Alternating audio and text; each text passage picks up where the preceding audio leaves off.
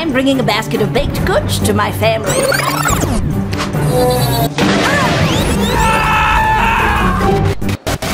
She's not doing any of the things we told her to do.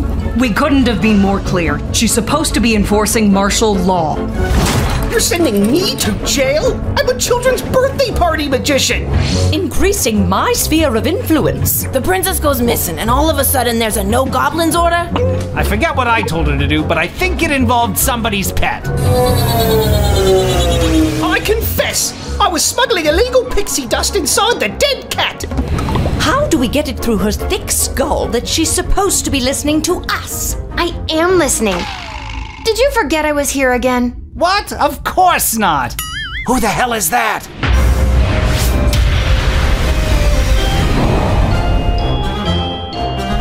Okay, Lil, you got this.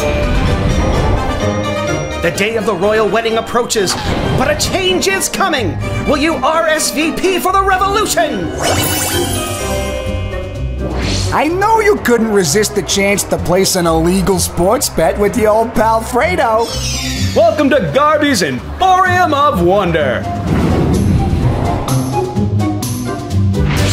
I did not slay 90 ballerinas to be denied entry by some freckle faced babe. I don't want to be rude, but you seem, well, pretty baked. Absolutely. Oh, wait. Your name is Count Heinrich von Pyre? Yes. Why?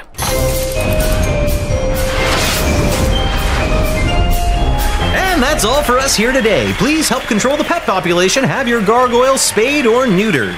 So long, everybody!